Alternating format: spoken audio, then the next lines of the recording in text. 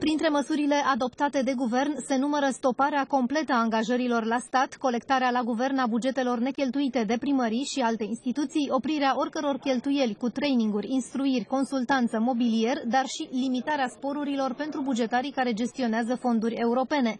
Celebra ordonanță a austerității este de fapt o ordonanță a responsabilității, insistă premierul Marcel Ciolacu, și le pune în vedere șefilor de la stat să fie cumpătați cu banul public nu putem să asistăm cum se toacă banul public, responsabilitatea și decență în administrarea banilor țării nu face rău nimănui. Cred că este o dovadă de decență, nici de cum o apocalipsă. Executivul a decis că până la finalul anului nu se vor face angajări la stat, nici măcar prin memorandum aprobat în ședința de guvern, cu două excepții însă, în sănătate și în educație se vor putea face în continuare angajări. Totodată s-a decis ca acele companii care au datorii să nu poată mări salariile angajaților. Sunt însă și excepții. În unele instituții de stat angajările pot continua. De exemplu, în educație au fost aprobate 7800 de posturi noi. În acest moment avem posturile pentru ca școala să înceapă în condiții bune și foarte bune. Și primăriile și consiliile județene sunt scutite de restricții bugetare pentru a finaliza investițiile începute și pot face împrumuturi dacă au nevoie. A fost adoptată și amnistia fiscală pentru firme și persoane juridice, dar cu unele condiții.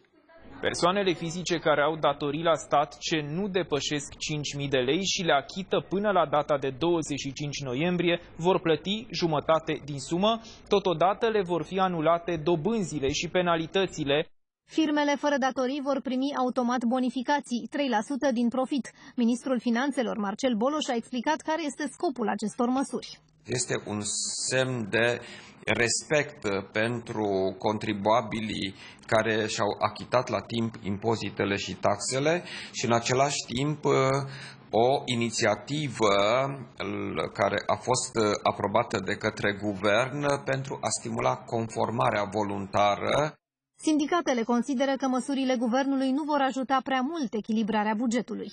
E greu de crezut că pe ultimele trei luni vor fi economii semnificative la bugetul de stat. Dar asta înseamnă o nealocare către bugetele publice a sumelor de bani, ceea ce poate duce în linii foarte, foarte mari la o echilibrare a bugetului de stat.